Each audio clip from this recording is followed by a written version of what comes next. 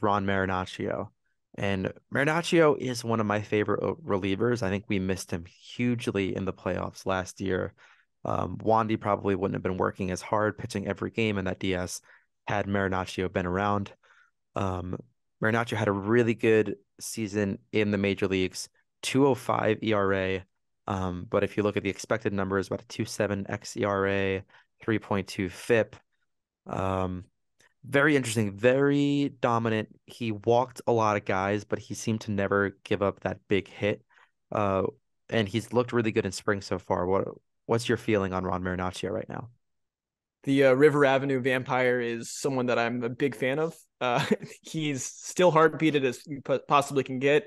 Um, despite being such a young dude, he like really holds his own and like just keeps himself gathered um, which you can't say for a lot of pitchers that come to New York City. They get frazzled very easily under the lights.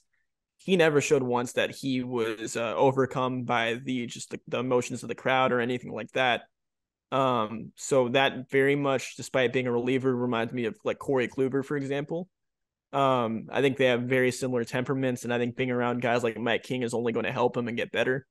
Um, this is a guy who I expect big things out of, and I think he's only going to get better and better over time the more he gets opportunities at the big league level. I think it would be a um, a mistake to let him start in like AAA or something like that. But this dude's the real deal. Yeah, and the tough thing with him is that he does have three options. No, he has two options remaining for the Yankees to use. So he might be one of those pieces, even though I think he's an established major league level talent pitcher uh, right now, and he's really our number five, or could potentially even put him higher on that on that list that we're going through. Um, you can see the Yankees use him, put him up and down depending on the injuries, depending on who needs time, um, because they can burn his options. Uh, something that I don't know if it scares me or impresses me about Marinaccio.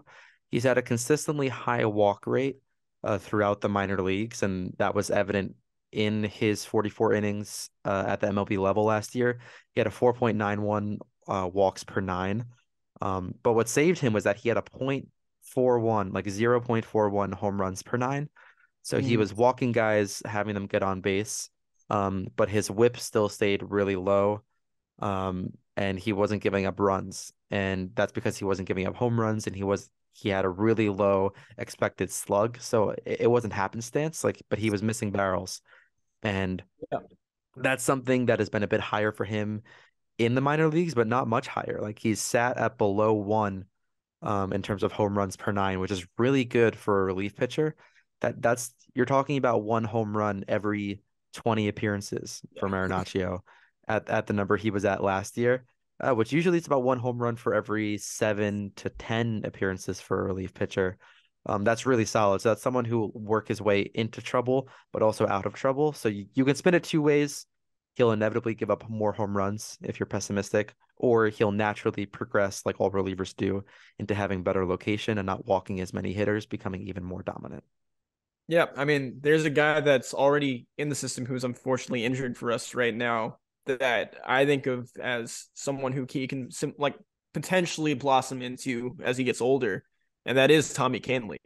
Um, they are both very much two change-up centric pitchers. That is their dominant pitch. If you watch Tommy Kahnle's, it's got fantastic depth to it. The same thing with Marinaccio's, and he's only going to get better with that the more he throws it. Um, and then the velocity gets up to 96, 97. Who's to say he can't get another one to two miles an hour, being upwards of 97 mile an hour guy? Um, I think that is a very solid comp for him. And I could see him just really kind of learning his tools to the point where, like you said, he knows how to keep the ball on the ground. Um, and he's only going to get better with the walks as he continues to throw innings. And I think that's all it comes down to with him. Um, sure, he has the options, but I think there's so much needed out of a specific type of pitcher that he fits that mold really well at this very moment in time.